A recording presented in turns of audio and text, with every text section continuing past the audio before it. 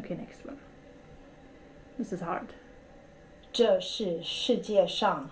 这是世界上。这是世界上。Hi. Hi. so I see you're, you're learning Chinese now. I'm learning to explain the theremin in Chinese. Yeah.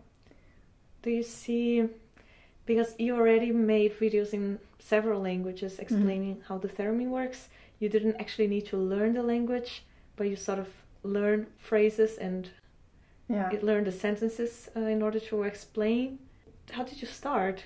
How did you have this idea?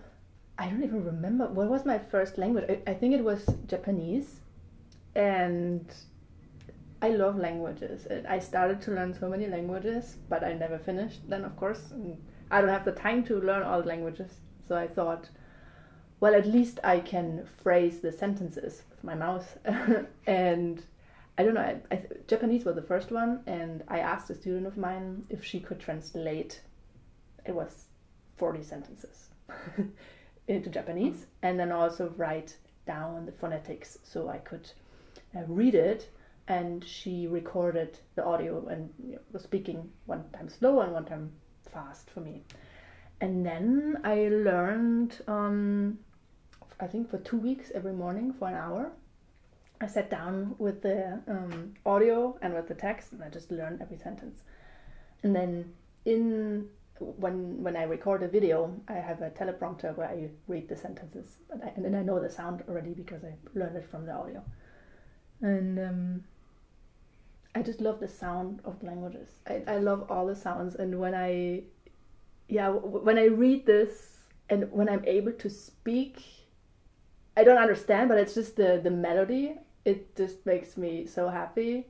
Um, and it feels like you know it feels like you can play a piano on the piano really fast without thinking. Like that's that's what it is. Like that's when you talk in the language you don't understand. Like you just hear the sound and you can say the sentence and it's just like it's, it's yeah it's a flow So definitely there's a connection of your musical side and the languages you speak. Yeah. You see this connection um, happening when you you're speaking different languages because I see you speak lots of different languages. Um, besides learning them for videos, you can speak very good English and of course you're a native German speaker. You also speak Sorbian, yeah um, what I Swedish as well. Swedish yeah so I do speak four languages um, and I'm trying to learn the fifth one um, Which is well Spanish.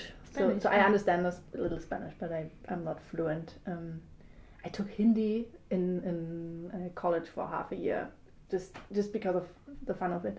Um, when I'm in a room and there's people speaking in different languages, that makes me so emotional. I don't know why. It's, I think it's just the sound and the feeling of connection. Like like we are all in we are all singing the same melodies, even if everyone is different. Like that's what makes me. Do you think this influences you when you're composing and uh, creating improvisation for voice and theremin? Do you try to bring this to your music? When I'm learning these phrases in different languages, maybe you know I, I, try to not only like say the words I'm I'm supposed to say, but also of course the melody of the voice, which is um, which I hear, right? So in a way, I'm learning the melody of, of the of these sentences. So if I learn the melody, then maybe I subconsciously use that melody also in a musical piece. What's next now? After Chinese, Yeah. I don't know. Like I have Italian on my list, uh, Oh, yeah. um, but yeah, for now Chinese was always my goal, and I thought it's so hard, but it's actually it's easier than Arabic. Yeah, Wow. I like for Arabic, I it took me three weeks to learn the whole thing. Also, I have less sentences now. I was I uh, took it down to one, two, three, four, five, six, so seven sentences. So that's enough. Yeah. Thank you. Yeah.